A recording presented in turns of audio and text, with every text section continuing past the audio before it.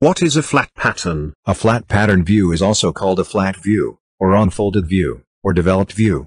The unfolded view unbends all the bends and flattens the sheet metal component. This view also generates the bend axis and bend allowance or bend limits lines. This unfolded view is very much essential for manufacturing sheet metal components. Let's take an example of a C-shaped sheet metal component. The unfolded view has unbent both the bends. It also has the bend axis and bend limit lines. We need to add all the dimensions essential for manufacturing the sheet metal component, like the dimensions to the bend axis, overall dimensions, and the bend notes. Only on www.royal-mechanical.com. Free internship for mechanical engineers. Learn CATIA V5 for free. Learn for free how mechanical engineers can get jobs. Learn for free mechanical engineering interview questions and answers, and simple spoken English for mechanical engineers to succeed in job interviews.